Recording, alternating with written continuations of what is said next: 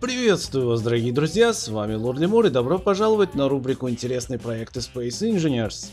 А, сегодня у нас очень интересный проект, точнее три проекта от а, одного интересного инженера. И ролик я не зря назвал «Девчонки тоже могут», потому что девчонки могут. И у нас сегодня проект от а, инженера девушки, достаточно интересный, аж целых три проекта, дорогие друзья. А, и а, что интересно, что данный флот является флотом от Adalina East Industries, так и называется, Adalina Industries. И а, что интересно, создатель данных прекрасного дизайна творений C1 Evergirl. Вот э, такой интересный у нее никнейм есть. И действительно, я очень-очень рад видеть творение не только а, мальчиков, так назовем, не только мужчин, но и женщин, и что они могут творить действительно такие интересные дизайнерские решения. А, ну, мне действительно очень нравится дизайн этих кораблей. Корабли созданы в креативном режиме, а, да, это креативный режим, то есть данные корабли не совсем для выживалок, потому что они выполняют ограниченное количество функций. Давайте же познакомимся с ними по очереди. Ну что ж, первый наш корабль это Аделина Лансер. Аделина Лансер. А, прошу прощения за техническую заминку, но думаю, вы не заметили. Итак, Аделина Лэнс. Лэнс это пика, дорогие друзья. С перевода с английского языка это пика. И вот такой вот корабль э, созданный, ну он небольшой, но он создан в очень интересном стиле. Если кому-то это, конечно, будет интересно, имейте в виду, что вот подобные чудо тоже можно создавать. И данный корабль, в принципе, вооружен ракетницей. И э, не только ракетницей, у данного решения на самом деле много чего есть. А, давайте же мы постепенно отправимся экскурс по этому кораблю. Хотя нет, давайте я вам да покажу все-таки экстерьер данного корабля. Сзади он выглядит таким вот образом. Находится немалое количество трастеров. Вроде бы скромненько, а вроде бы нет. То есть, а, ну, данному инженеру удалось очень даже неплохо показать, а, скажем, а, продемонстрировать, грубо говоря, макетный экземпляр. Я считаю этот экземпляр макетным. Ну, я не очень-то уверен, что оно годится для выживания, но как, как креативный проект, который показывает в некоторой степени красоту, самое то. И давайте же зайдем в рубку. В рубку у нас вот таким вот образом. То есть у нас здесь а, не, не традиционный как бы а, дизайн, как мы видим, да.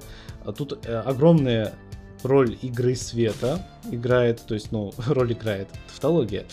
Но тут огромное количество эффекта создается благодаря освещению, то есть корабль приобретает такой, знаете, клубнично-сливочный, клубнично-сливочные оттенки. Это я пытаюсь быть на позитиве и не думать про кровь. Но на самом деле а, корабль замечательный, он просто великолепен. Мне нравится, дорогие друзья, это просто что-то с чем-то. Также, помимо всего, у э, Адалин э, Лэнс имеется основная пушка. Пушка, она находится посередине. Давайте мы ее активируем. Откроем панель. На панели у нас всего три а, как бы инструмента, не так уж много. Я не зря выбрал впереди астероид, чтобы мы могли жахнуть как, как следует по нему а, данной пушкой. Значит, мы нажимаем на таймер, у нас отключается гравитация, потому что она меняется местами.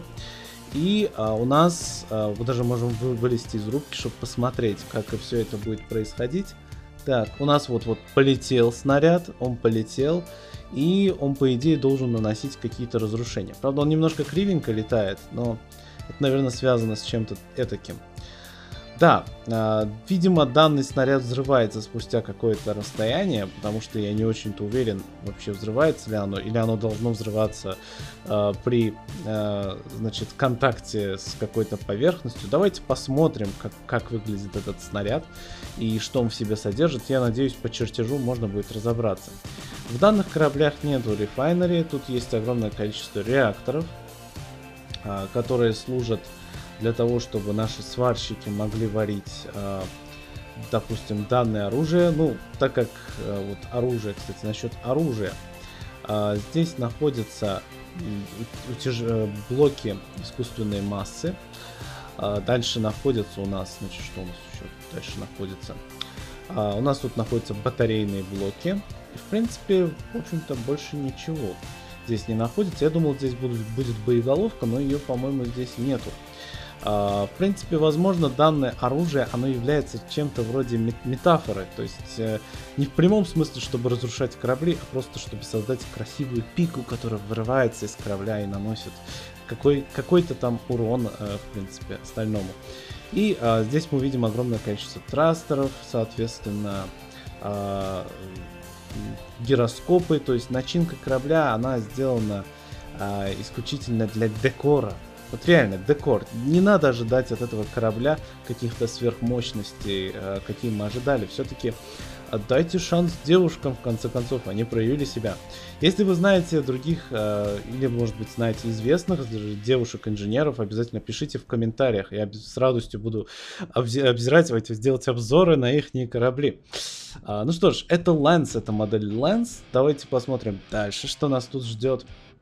Дальше у нас идет Canon Ship такой вот интересный Canon Ship. Он, у него тоже есть такая пушка, которая его, э, как бы, он чуть поменьше, чем предыдущая модель. То есть он, как мы видим, поуже и даже по длине, то есть короче.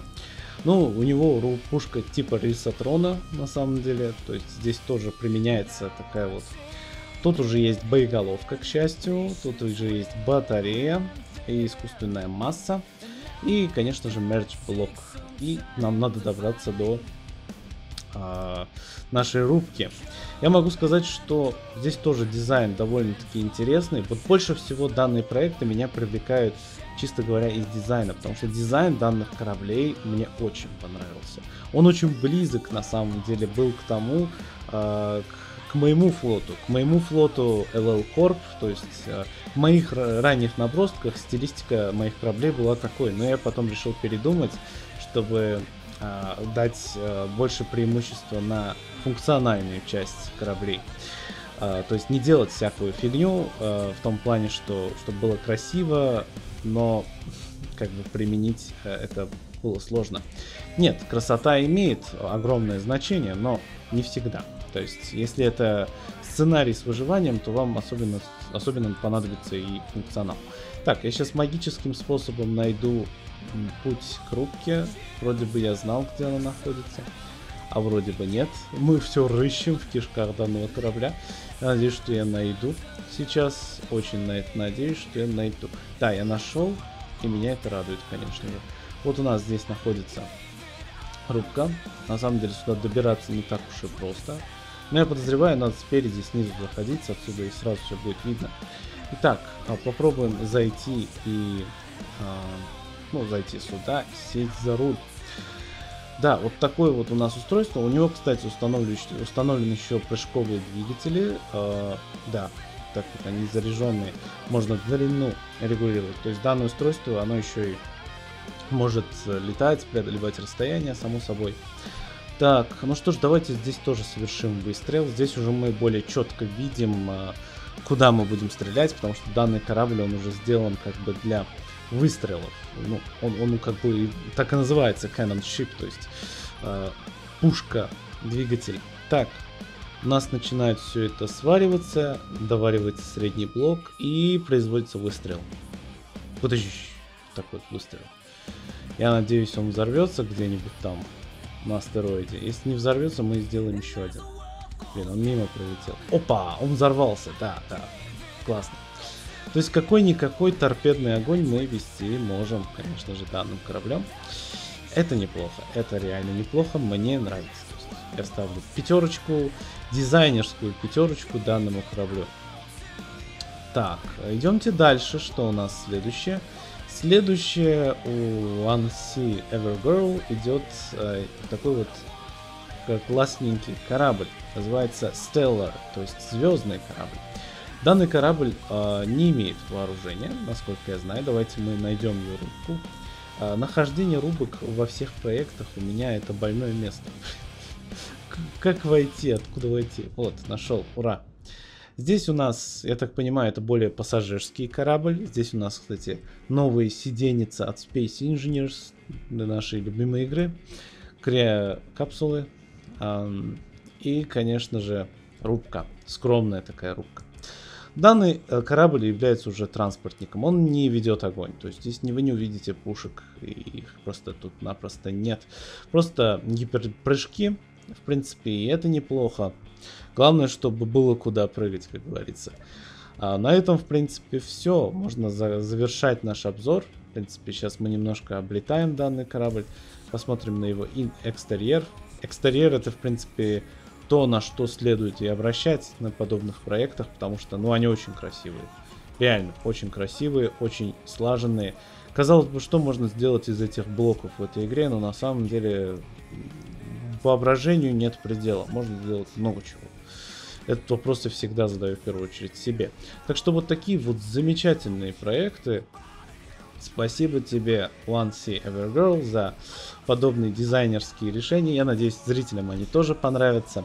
Ну, друзья, а в следующий э, день, как бы нас завтра ожидает продолжение моего летсплея. Я надеюсь, что завтра, я очень на это надеюсь, потому что мне очень хотелось бы э, снять завтра. И если не получится завтра, то будет послезавтра. Но от вас требуются вот такие вот жирные лайки, подписки и делитесь моим видео, пожалуйста, если хотите развивать мой канал. А, ну и также а, хотелось бы сказать, если вдруг завтра я не смогу снять а, прохождение моего летсплея под названием Rise, скорее всего будет обзор на очень большую машину, ребята. Это какой-то монстр, он прям прям огромный такой.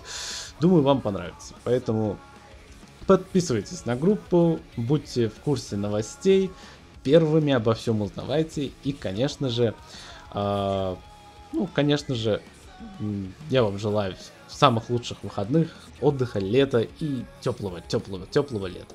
Что ж, до скорых встреч. Всем пока-пока.